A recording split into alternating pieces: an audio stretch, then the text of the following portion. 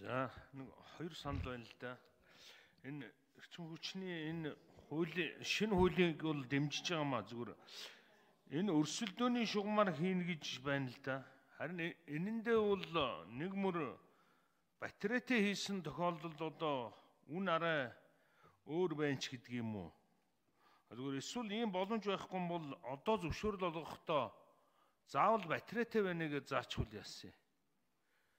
Тэрнээс биш сая нам учраг шүний ярьж байгаа шиг батарейтай байж болно байхгүй ч байж болно гэхэлэр чинь бас л хуучнаараа байх болчиход байна л да. Энийг ажлын хэсэг юу гэж бодож байгаа энэ дээр нэг анхаарч өгөөч. Хариулт өгөөч. Хоёрдугаарт чойр сайн шандын дамжуулах шумын хүчин чадал бол 40 мегаватт гэж байгаа маа. Гэтэл сайн шанд замун үд баригдсан нар салхины паркын гаргаж байгаа хэмжээ бол нэг 90-100 мегаватт орчим. Гэтэл үүнийг төрүүгээ яаж татах юм бэ? Одоо энэ асуудал болчиход байгаа юм. Дээр нь сайн шандад бол одоо төр хувийн хвшлийн олон компаниуд үйлдвэр барина гэдэг ингээд ажлаа хөөцөлтөд явж байгаа. Цаашдаа ч энэ төмөр замууч одоо баригдаж байгаа төмөр замууч гэсэн бүгд цахилгаанж байна. Тэгэхээр одоо байгаа хэрэглээг хангаж чадахгүй байгаа байдалд байгаа юм чинь жишээлбэл одоо энэ үйлдвэр аж ахуй газар барья гэсэн компаниуд зөвшөөрөл хүсээд ингээд эрчим хүчний газраар явхлаар тарифын э, юу хийж байна судалгаа хийж гин тооцоо хийж гин гэд одоо бол энийг шийдэхгүй байгаа. Тэр хоёрын хугацаанд энэ энэс болоод нөгөө гадаад хотуудын хөрөнгө оруулагч нар бас э, хохирох ийм асуудал байна. Тэгэхээр ийм учраас ойрын хугацаанд чойр сайн шандын хоорондох дамжуулах шугамын ер нь яг хизээ өргөдөх юм бэ? Энэн дээр одоо ямар боломж байгаа юм? Ямар ч гэсэн 19 оны төсөвт бол байхгүй. Тэр энийг гадны зээл тусламжаар ч юм уу шийдээд ойрын хугацаанд шийдэх юм боломж байгаа юу? Энэн дээр нэг хариулт өгч уул нь байнгын хорон дээр би асуусан тэгээд тодорхой хариулт авч чадаагүй маа. За хэн хариулах юм? Ажлын хэсэг ахлагч Батмар гүшүүн түрүүний бас Эрдэнэт гүшүүн асуултанд дутуу хариулт авсан гэдэг шүү дээр тариф холболтын асуудал, дэд үтсийн холболтын асуудал дээр нэмж тодруулах өгчмөр байна. За Батмөр гэж.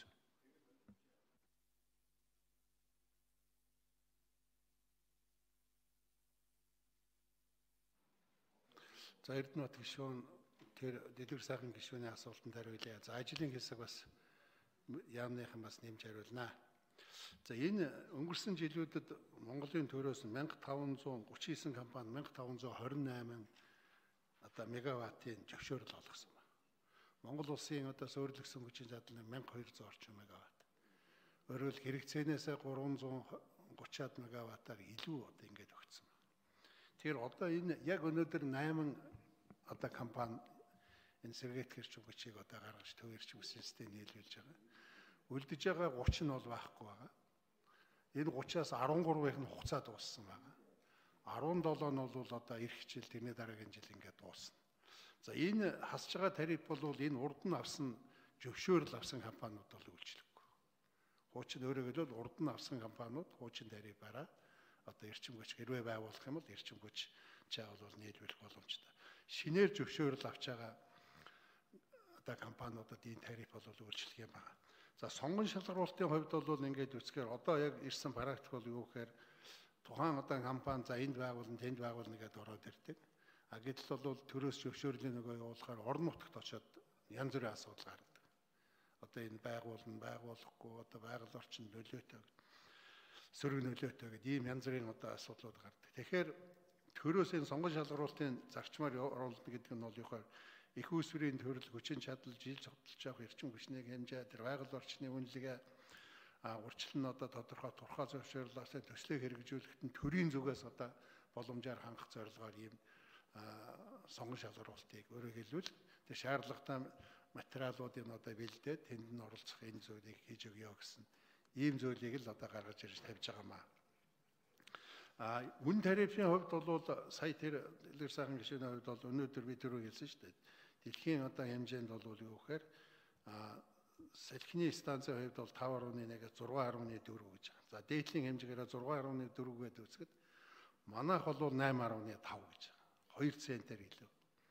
А нарны хувьд бол 8.1 гэж байгаа манайх 12 гэдэг чинь 4 центээр илүү байна. Тэгэхээр бол энэ бол тийм одоо их хасагдаад тухайн аж ахуйн нэгж хөрөнгө оруулагч явчих одоо тийм тариф биш л дээ.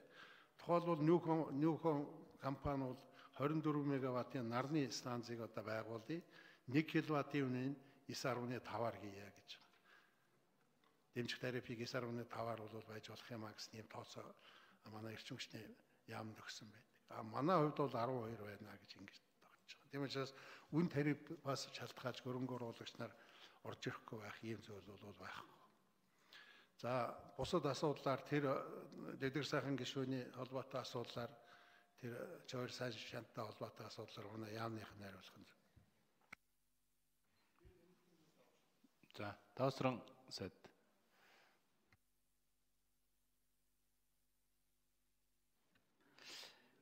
Саяын гişүүдийн асуудаг асуугаад байгаа асуултан дээр би нэг зүйлийг дахиж тодруулж хэлье.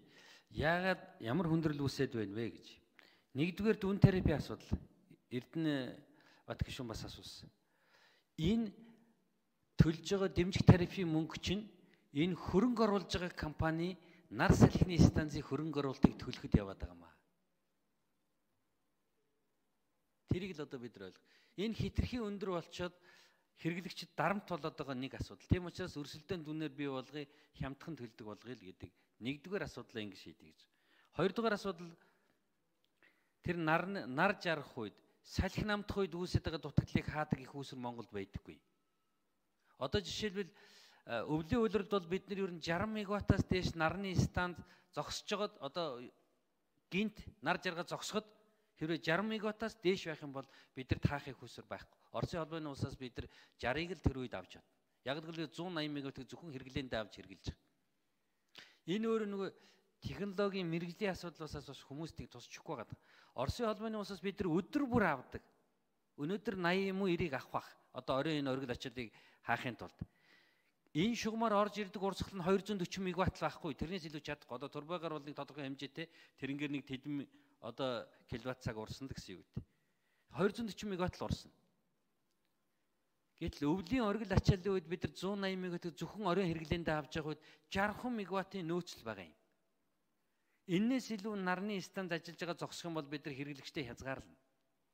Хэрвээ 60-аас илүү байх юм бол яг 10 мегаваттаас илүү байх юм бол нэг 5 сумыг байдаг юм уу? Аль эсвэл Улаанбаатарын нэг дүүргийг ч юм хязгаарлана.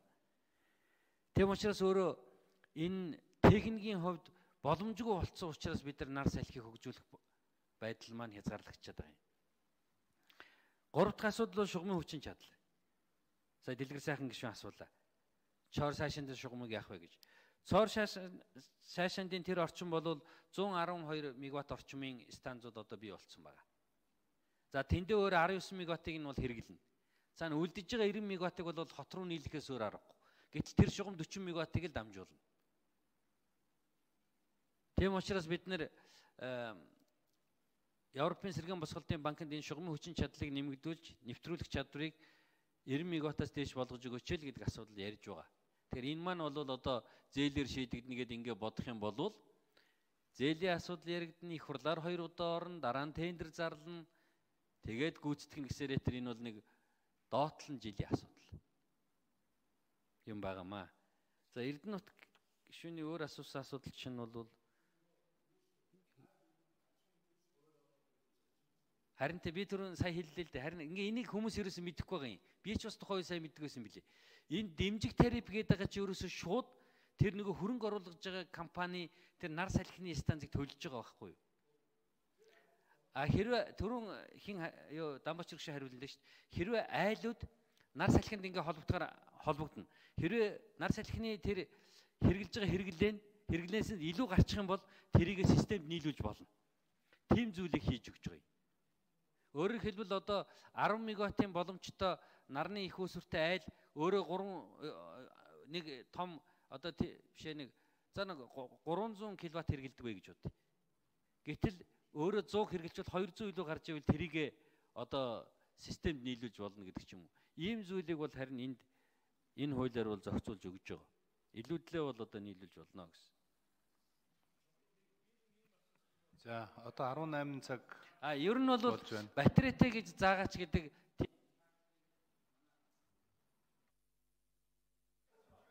За одоо 18 цаг болж байна. Өшөө дөрвөн гишүүн асуух асууя. Ямар ч үсэн сэргээгт хэрч хүчний тухай хуулийнхаа хэлцүүлгээ хийгээд дуустлын э, чуулганыхаа хугацааг сунгаа тийм ээ.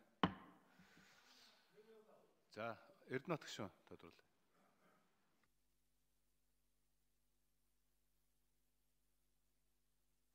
Даваас өрн гişүнэ. Одоо жишээлбэл тэр айлуудыг тийшээгээ дэд бүтцтэй холбоход дэд бүтцийнхээ хөрөнгийг өөрөөсөө хариуцна гэсэн юм яриад байгаа хгүй. Энэ дээр нэг тодруулах. Хоёр дахь нь. Хоёр дахь нь. Энэ иргэдийн дэмжих тариф гэхэд 1000 төгрөг одоо 1200 3000 болж өсчих гээд байна гэж болгоомжд байна гэж би хэлж байгаа. Ер нь та өөрөө сая хэлжлээ шүү дээ. Энэ бол тэр эрчим хүчинд хөрөнгө оруулсан улсуудын мөнгийг ингээд татвар төлөгч төлөөд байгаа маа. Энэ зөв юм уу буруу юм уу гэж би асуугаад байгаа. Маш буруу гэж би ойлгоод байгаа. За энэ нийт одоо жилийн дүн хэд байдгийг. А тэрийг өөр юмнаас асуулах боломж байд юм уу байхгүй юм уу? Ингээд иргэдэд энэ татварын ачаалт ингээд нэмэгдэхээр нэмэгдээд байх юм бол наад чинь бүр замраагаа алднаа. Иргэдэд маш их ачаал үүснэ гэдэгт л хариулт өгөөч л гэж би хэлж байгаа. Энийг би тодруулах гэсэн. Энэ хоёр дээр нэг чоткийн хариулт өгөөд гэж. За даваасрын сайд.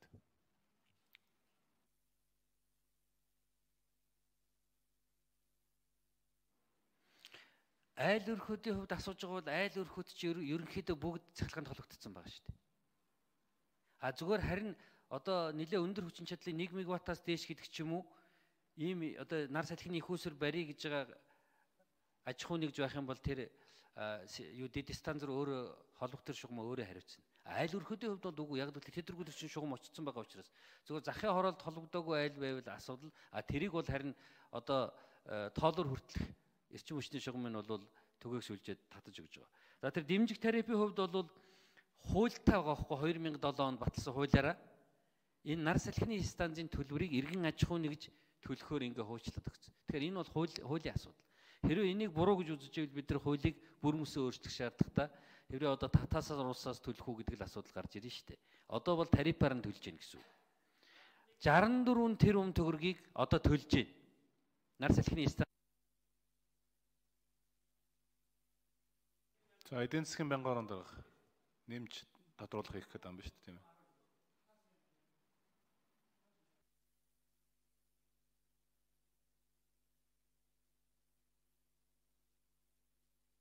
За байнгын оронд байгаа Ганбаатар, Жи Ганбаатар. За баярлалаа. Бид нар нарийн зүйлүүд рүү н орохгүй зүгээр энэ хууль бол зохицуулж байгаа хууль болохоос биш дэмжиж байгаа хууль биш байгаа. Би бол энийг бас олон хүнээс асуугаад байгаа сэргээр тэрчим хүчийг бол дэмжиж байгаа биш зохицуулж байгаа. Миний хараа бол одоо сэргээр тэрчим хүчнийг энэ нөгөө яагаад ирнэ гэхдээ 20 он хүртэл 20% хүрнэ гэд зорилт заацсан мөртлөө энэ өөрөө сөрөг болцсон бэ гэдэг дээр гол асуудал байгаа байхгүй. 20 он хүртэл одоо суурьлагдсан эрчим хүчний 20%-ийг хангана гэж зорилт тавьсан. Тэгээ энэ буцаад яагаад манай систем сөрөг болчихоо гэдэг. Тэгэхээр миний хувьд бол сэргээр тэрчим хүчийг дэмжих юм хууль хэрэгтэй. Тэгвэл одоо тэр Эрдэнэт гишүүний асуугаад байгаа тэр айл хөрөхтэй холбоотой зүйлүүд шийдэгдэх баг. Өнөөдрийн хууль бол зохицуулах асуудал байнамаа гэж би бол харсаа. Баярлалаа. За дэдгэр сайхан гишүүн болцсон уу те? Хариулт хариу. За та тодруулчаач 1 минут аваад. За за даваас өрн сайд.